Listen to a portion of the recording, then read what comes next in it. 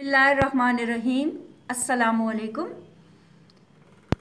जमात पंजम की किताब गुले लाला से आज हम सफ़ा नंबर चार।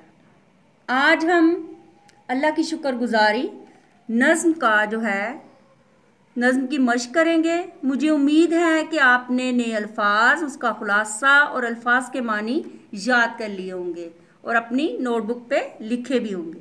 ठीक है जी? आज हम उसकी मश्क करेंगे, सफ़ा नंबर चार खोलिए। नए अल्फाज और अल्फाज मानी। अनायत मेहरबानी, निगाह, नज़र, निगाह, बरखा, बरसात। बयां, किसी मौजू की तफसील, समा, मंज़र, सदा, हमेशा। मारूजी, सवालात। दुरुस्त जवाब के दायरे को पेंसिल से भरिए। हमद, खुदा की शुक्रगुजारी के शायर कौन हैं? अलामा इकबाल, हसरत मोहानी, मोहम्मद हुसैन आज़ाद, सूफ़ी तबस्सुम। जी तो उनके शायर कौन हैं? मोहम्मद हुसैन आज़ाद।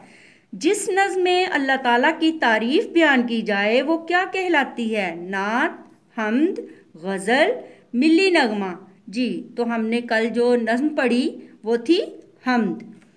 जब गर्मियों का ज़ोर बढ़ जाए तो ठंडक कैसे होती है? बरखा से, लू से, बहार से या ख़िज़ा से। जी तो बरखा से। अल्लाह ने इंसान को दिन किस लिए दिया? आराम के लिए, सोने के लिए, काम के लिए या खेल कूद के लिए?